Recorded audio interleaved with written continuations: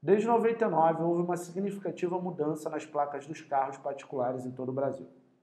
As placas que antes foram eram formadas apenas por seis caracteres alfanuméricos foram acrescidas de uma letra, passando a ser formada por sete caracteres. Isso é história. Sendo que os três primeiros. Ó, agora começa, ó. Os três primeiros caracteres devem ser letras, D326, e os quatro últimos devem ser algarismos de 0 a 9.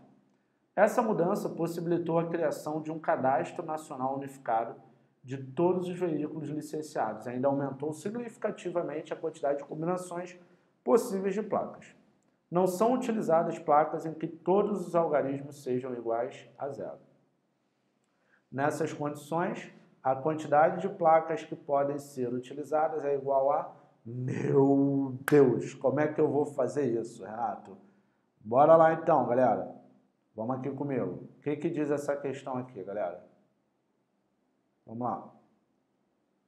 Vem aqui comigo. Vem cá. Gente, se liga na parada. Se liga. Você tem que se ligar nisso. Ele quer saber quantas você pode formar. Você vai fazer o quê? Você vai achar o total de placas tá bom? Total de placas menos aquelas que têm os algarismos iguais a zero. Aquelas placas, né? Que têm os algarismos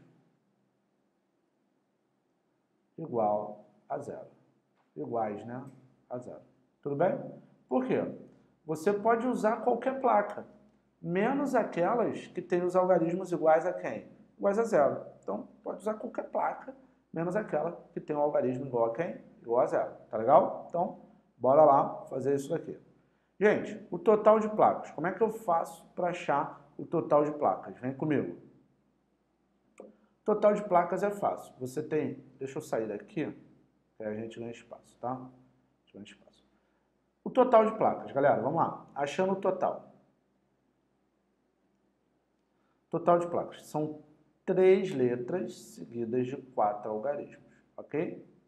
Então, pode repetir, são 26 letras. Quantas você tem para a primeira? 26, para a segunda 26, para a terceira 26, aqui você tem 10, 10, 10 e 10. Show de?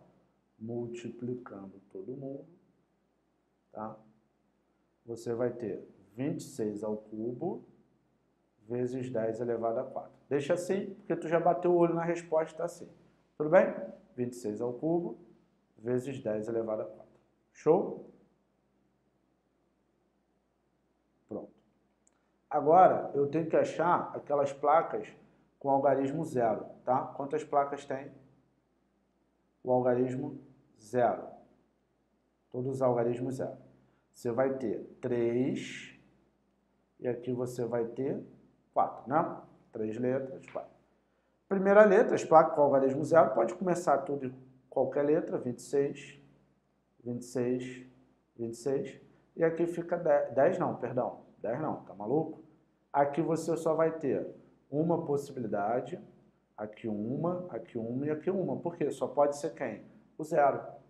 Daí você vai multiplicar todo mundo e a brincadeira vai ficar 26 ao cubo. Show de bola? Tranquilo? Tranquilo aí, zero trauma. Vai ficar 26 ao cubo.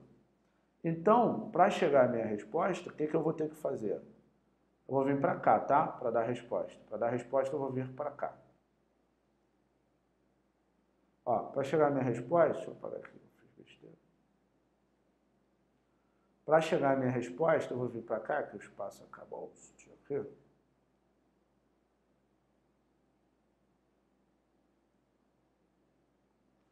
Para chegar a minha resposta, eu vou vir para cá. Ó, para chegar a minha resposta, eu vou vir para cá. Vai ser o total de placas, 26 ao cubo, vezes 10 elevado a 4, menos 26 ao cubo. Essa é a minha resposta. Show? Tranquilo? E aí você olha para a resposta não tem. Mas olha só, você pode botar em evidência aqui, ó, 26 ao cubo está aqui, o 26 ao cubo está aqui, né? E o 26 ao cubo está aqui. Eu posso colocá-lo para fora, que é colocar em evidência.